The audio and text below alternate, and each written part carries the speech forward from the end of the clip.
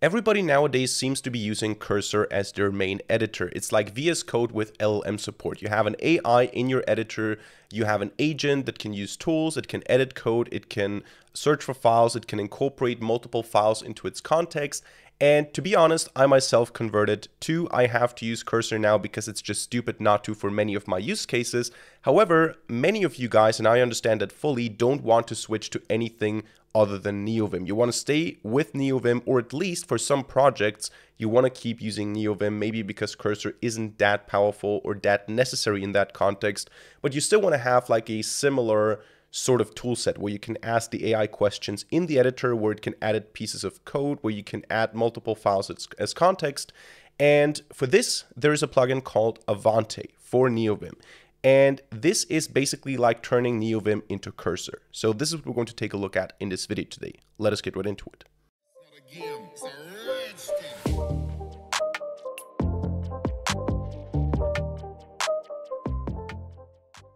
Alright, so let us get started right away. We have the avante.nvim repository here on GitHub. You can see here, use your NeoVim like using Cursor AI IDE.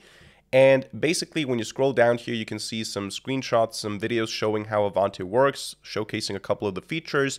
And important down here, you can see the installation instructions. And we have here multiple plugin managers that are supported. We have lazy.nvim, which we're going to use in this video today. We have uh, vim-plug, Packer, and so on. Now, what's important for this video is I'm going to assume if you're watching this and you're interested in that, you're either just watching it for entertainment or you actually already use NeoVim and have your setup ready so you don't need me to teach you how to set up NeoVim from scratch. If you need that, I have an outdated video on uh, the config using VimScript. However, I'm going to, at some point, hopefully in the future, release a tutorial on my current config, which is Lua based, but it's going to take some time because I want to do some more uh, customization when it comes to the setup. If you want to have my config, if you just want to copy paste it and use it, you can go to my GitHub repository. There I have a config files uh, or actually to my GitHub account. There I have a config files repository, and there you can find, uh, among other things, also my NeoVim config. But what you need to do now is you just need to use your plugin manager, hopefully supported here, and you just need to copy paste this configuration. We're going to keep it at the default. I'm not going to customize anything here. So just copy it. And then in my case, I'm going to open up my terminal. I'm going to go to my .config directory. I'm going to go to the nvim directory and in here now I have this init Lua, which is my just my basic configuration init Lua, then Lua. Then I have my config here with colors, key maps, uh, lazy, and options. And then I have my plugins directory. And in here, what you want to do if you're also using uh, lazy, probably you have your own structure, your own setup, so you don't need to listen to me for the installation. But in my case here, I just create a file avante.lua and I copy paste everything into this file and that's it. The next time I restart NeoVim, it basically has this plugin installed and it's ready to use. So what we're going to do now is we're going to actually give it a try. I'm going to go to my current directory and hopefully I don't have stuff here. I do have stuff here from my last video. So let me just briefly remove everything from here. All right, so now we have an empty directory. And one thing that's important is if you want to use Avante with large language models from OpenAI or Anthropic. These are the two that are supported by default. I think there's also some Ollama configuration that you can use. You can basically just go to the GitHub repository and uh, to usage, I think here you have some instructions. There you go. You need to have the OpenAI API key exported. You need to have the Anthropic API key exported. Uh, you can also use Azure or Bedrock. And I think that there's some section down here about uh, Ollama. So here you can also specify your Ollama uh, models if you want to. We're just going to keep it simple and use the GPT uh, 4o model, so quite simple, just a basic OpenAI model. And if you want to do that, you need to export, as I showed you right now, uh, the API key. So you need to say export OpenAI underscore API underscore key is equal to your API key. You need to do that. And if you want to persist that, so if you want to have this uh, long term, not just for this terminal session, you need to do that in your uh, config file for the shell. So either in your bash RC or zshell RC, uh, zsh RC, I'm not sure uh, how the file is called if you pronounce it correctly. You just have to set this environment variable permanently in your config.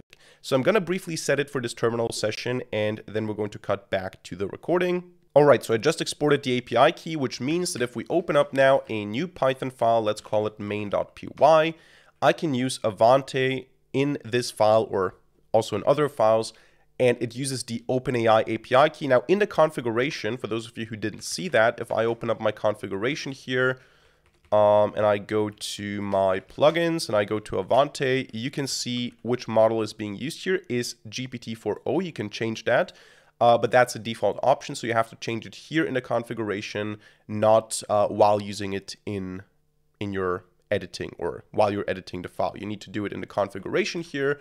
So we're using 4o right now, and let's go ahead and try something very simple. I can use now the leader, so in my case that's the spacebar, leader AA to open up this Avante. Maybe I should move my camera window here to the left.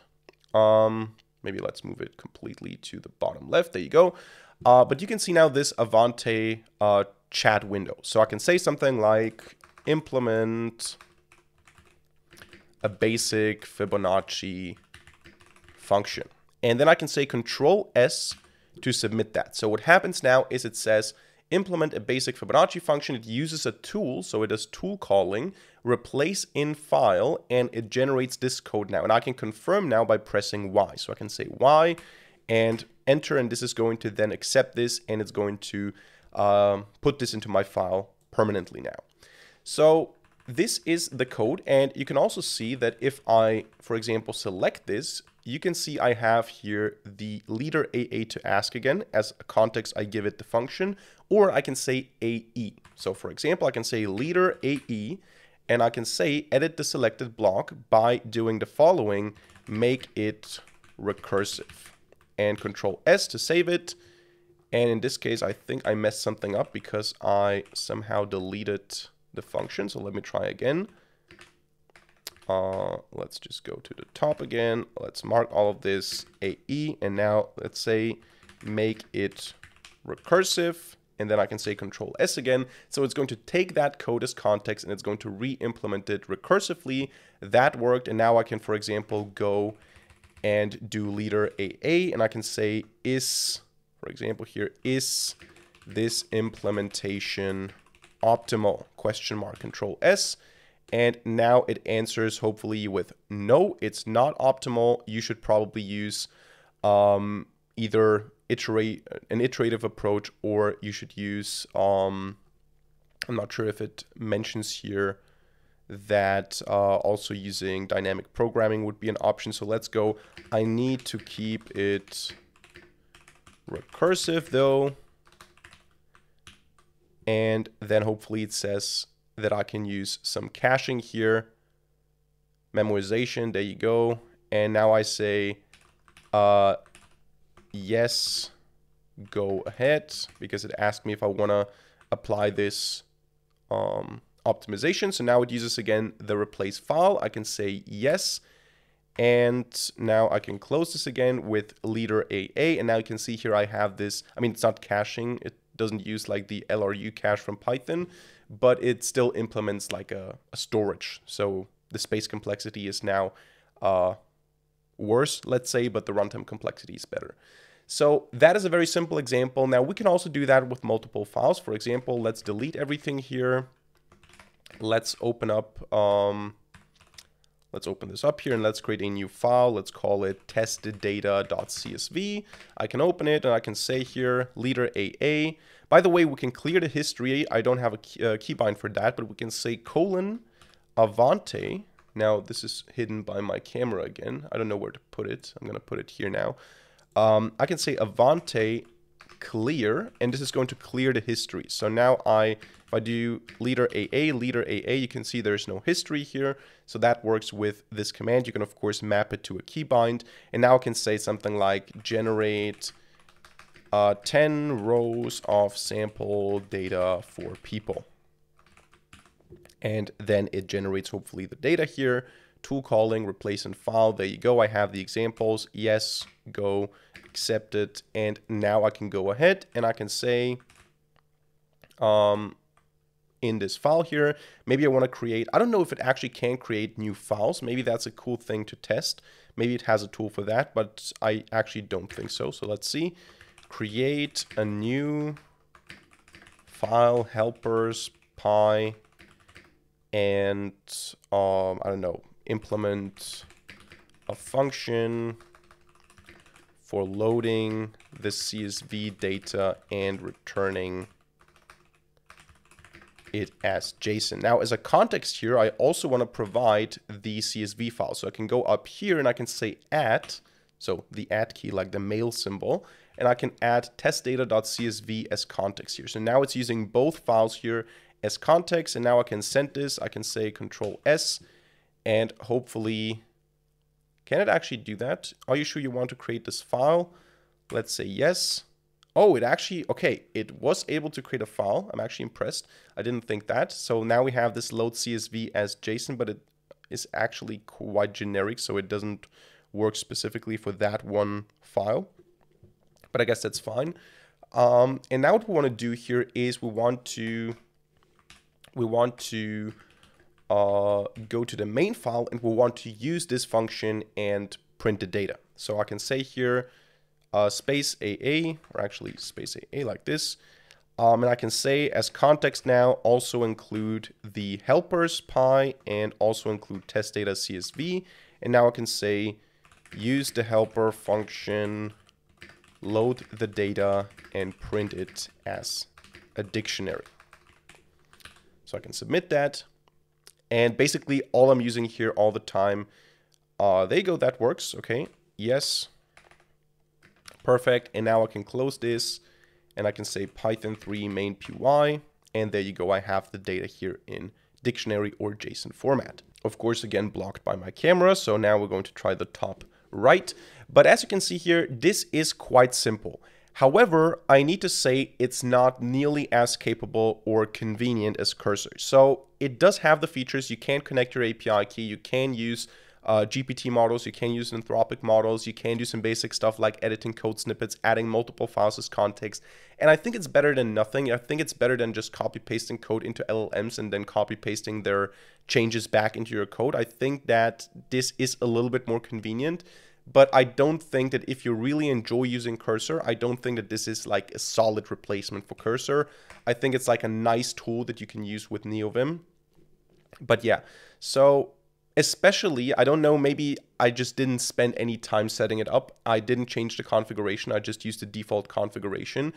Uh, but a lot of times stuff is buggy here. So if I open up um, the window here, sometimes if I want to add a file as context here and it's in a different directory, I get something like file not found or invalid path. I don't know why. Then I click on something and there's some uh, error that something didn't work and it's not really like the rest of my NeoVim config messing this up. It's more like the tool seems kind of clunky at times and doesn't seem like it's a really solid implementation, at least yet. Uh, but I like the idea of having a cursor alternative natively in NeoVim. I really think this is a good idea. I hope they keep developing this. And I want to encourage you guys that are using NeoVim to give it a try, to connect your API keys and to see you know, if you like it, if you can make use of that. Again, I personally, if I'm working on a complex project where I really need to prioritize speed, I'm going to use Cursor, at least for now. Uh, but this is really a solid alternative for smaller projects or if I just don't want to use anything except for NeoVim. So that's it for this video today. I hope you enjoyed it and I hope you learned something. Let me know in the comment section down below if you're interested in more NeoVim related content, if you're interested in my current setup, showcasing it, showing you how to install it maybe. Uh, as I said, I plan on doing such a video in the future, but currently I'm not quite satisfied with the config. As always, you can get all my config files on GitHub, uh, but without a video, without instructions, just the config files that you have to copy and paste if you want to use them. But if you're interested in more NeoVim content or more Linux content, let me know in the comment section down below. And besides that, don't forget to subscribe to the channel and hit the notification bell to not miss a single future video for free. Other than that, thank you much for watching, see you in the next video, and bye.